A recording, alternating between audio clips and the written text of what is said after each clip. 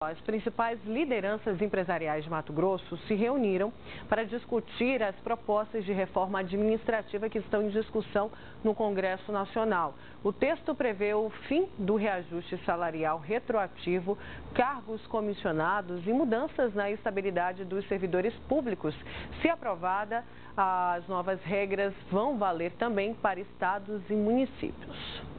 O debate para tirar dúvidas sobre a proposta da reforma administrativa que está em discussão no Congresso Nacional foi promovido com o apoio de entidades ligadas à iniciativa privada. Foi o primeiro de uma série de eventos previstos sobre o tema, que pretende debater com toda a sociedade. Nós queremos sim ampliar, acho que é importante a opinião de todos.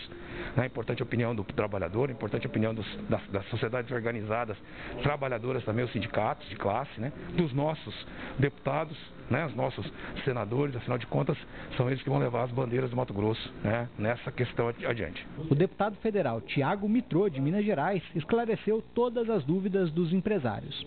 Ele é o presidente da Frente Parlamentar da Reforma Administrativa e diz que a PEC busca melhorar a eficiência da gestão dos recursos públicos. Principalmente transformar a administração pública para que ela possa ser mais moderna, compatível é, é, com as realidades é, do século XXI, para que ela possa ser mais eficiente, entregando serviços de qualidade para a população é, e mais orientada a resultados e que ela possa ser justa. Né? Em inúmeros casos hoje, o Estado brasileiro é um fator de propagação de desigualdade, né, como no caso é, de super salários que é, é, carreiras aí privilegiadas da administração pública ainda recebem. A PEC da reforma administrativa propõe mudanças para os sistemas de contratação, remuneração e demissão de novos servidores da União, estados e municípios.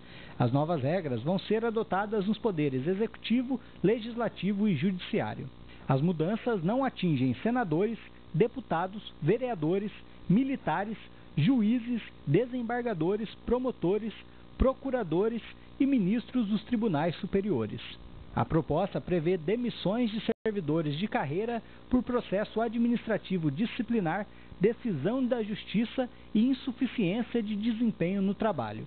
E no caso dos servidores com vínculo por tempo indeterminado, as situações previstas para o desligamento ainda serão discutidas e aprovadas pelo Congresso Nacional.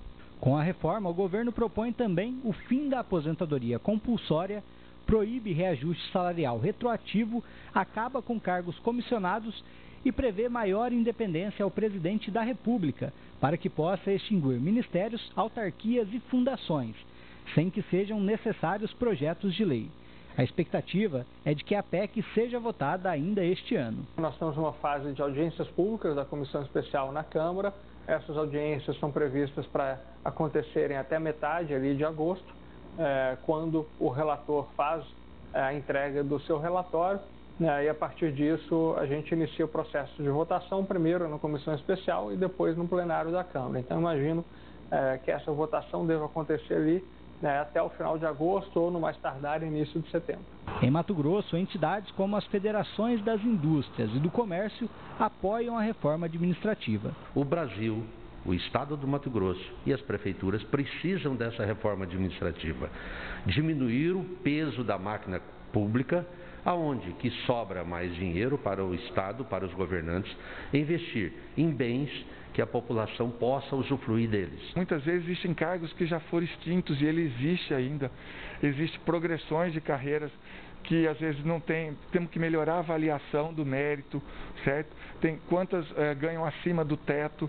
Então acho que tem muitos pontos importantes que precisam ser discutidos. O que a gente chama é a sociedade organizada para que a gente discuta qual modelo de Estado que a gente quer. Para o presidente da Câmara dos Dirigentes Logistas de Cuiabá, as mudanças podem ajudar a abrir o caminho para uma futura redução de impostos. A pressão tributária muitas vezes ela vem de uma ineficiência do Estado em produzir os resultados que a sociedade precisa. Então, é, por não ter uma boa eficiência, às vezes fala assim, não, tem que aumentar a estrutura, tem que gastar mais com isso, gastar mais com aquilo, e de onde que vem o dinheiro?